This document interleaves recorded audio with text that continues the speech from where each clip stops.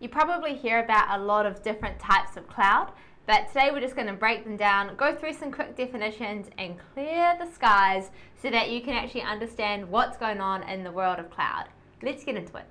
We're going to start with some different cloud models, kicking it off with number one, public cloud. Public cloud is basically just the internet.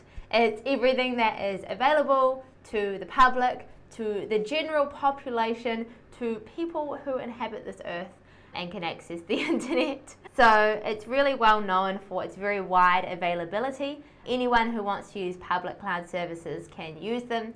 So very handy. Thank you internet. Done a great job so far. Then we have the private cloud. Private clouds are things that are used by a single entity. So that could be an individual person, it could be a individual company, it could be an individual group of people in whatever shape or form.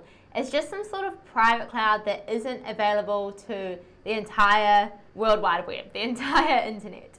The biggest difference in this is really about security because when you have a private network or a private cloud, then it means that you can actually configure all of the security settings around it, kind of like border control in a country. You can decide what comes into your network and what goes out of your network and how secure it should be within different layers within your little network. So unlike the internet where you just have a whole bunch of people swimming around and everyone can see what everyone else is doing, when it comes to your own private cloud, like a virtual private cloud which you can set up with AWS, you've kind of got this little slice of the internet which is just yours that you can set up however you like.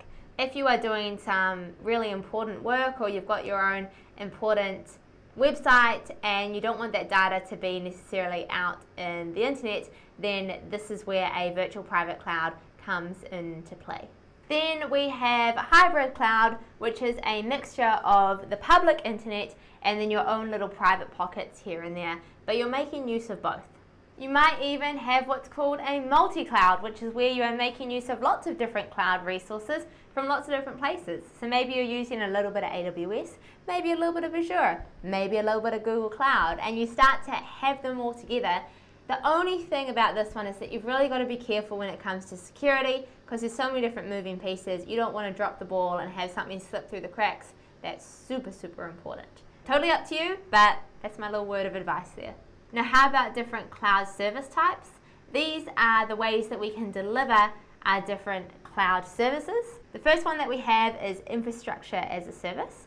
And you can think of this as in they're giving you a lot of control, basically, to build everything from almost the ground up. If you think about this like a pizza shop, all right, infrastructure as a service is you need to go and set up the kitchen then you need to bring your own ingredients, then you need to cook it, but you are going to have complete control over all of that sort of stuff. Basically, all AWS is providing you with is the raw metal to forge your own kitchen and everything else you're doing. This is quite different to our second option, which is a platform as a service. Platform as a service is where they've set up a basic platform and now you can build on top of that.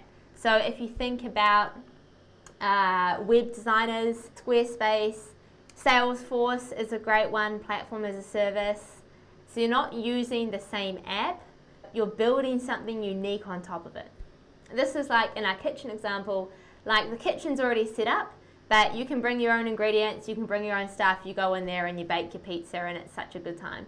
Again, a different layer to our last one, which is software as a service. Software as a service is where Everything is basically set up for you. You just come into the restaurant, sit down, and someone brings you out your pizza. It's, it's already there. There's nothing else that you need to do. These are the different levels of tools that you can have, and AWS has all of these, right? They have some services which are infrastructure as a service, others which are platform as a service, and others again which are software as a service. And the difference is really how much you have to do versus how much AWS has to do. The more that you have to do, the, the more work it is, but the more control you get. Whereas if you just want things very automated, you might go for more of the software as a service, but then you, you lose a little bit of the control. It's up to you and what you're looking for, the level of customization, how much time you have, budgets, all of that good stuff. But I think that's it. Thank you so much. Happy learning, and we'll see you next time.